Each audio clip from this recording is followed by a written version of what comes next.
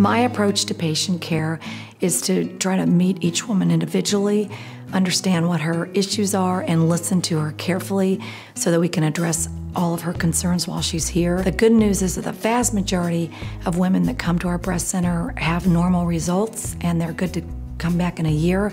But if there is a woman that has an issue that needs additional workup or biopsy, we're there to take care of them and get the um, answer for them. I really love taking care of women. I've always been interested in women's health. And I think women are the caregivers in the families and of the world, and we frequently don't take care of ourselves. Breast cancer is the second leading cancer in women. About one in eight women will develop breast cancer in their lifetime.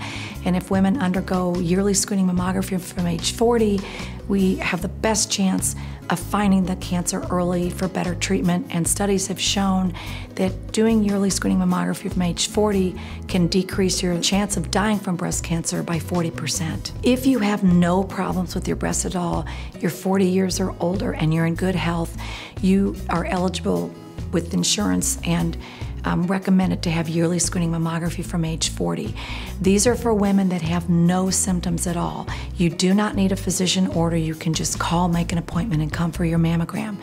If, however, you have any symptoms, meaning a breast lump, nipple discharge, new changes in your breast, it's very important to first contact your doctor so that your doctor can give you an order to come for what we call a diagnostic mammogram. Those are specialized exams that are done under the direct supervision of the radiologist, and we give a longer time for those appointments so that we can give you that personalized care. We will see you, examine you, and by the time you leave that day, we'll give you an answer as to what we think is going on with the breast and if anything else needs to be done or if everything's fine and you can come back in a year.